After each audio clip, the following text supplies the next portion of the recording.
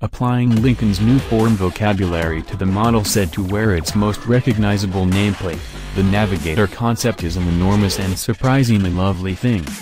Don't be seduced by the huge gull-wing doors and wood-paneled concertina staircase, those are strictly conceptual touches, devised to provide a good view of its interior, according to Lincoln, but spend some time checking out the details, including its elegant headlamps, slim horizontal tailpipes, wide lower air intakes, cantilevered rear air deflector, and straked hood gently dropping down to the signature Lincoln grille.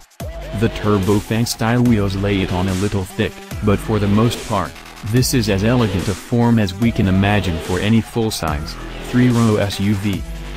As with the Continental concept, this Navigator already has critics calling its originality into question, particularly with respect to its slab-sided Range Rover-esque proportions and blackout C&D pillars, as well as its Aston Martin-like fender garnishes.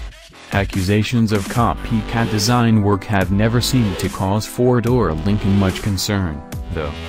Based on how closely the production Continental hews to the lines of its concept forbear, we don't expect Lincoln to make substantial changes to the production Navigator that will appear in 2017.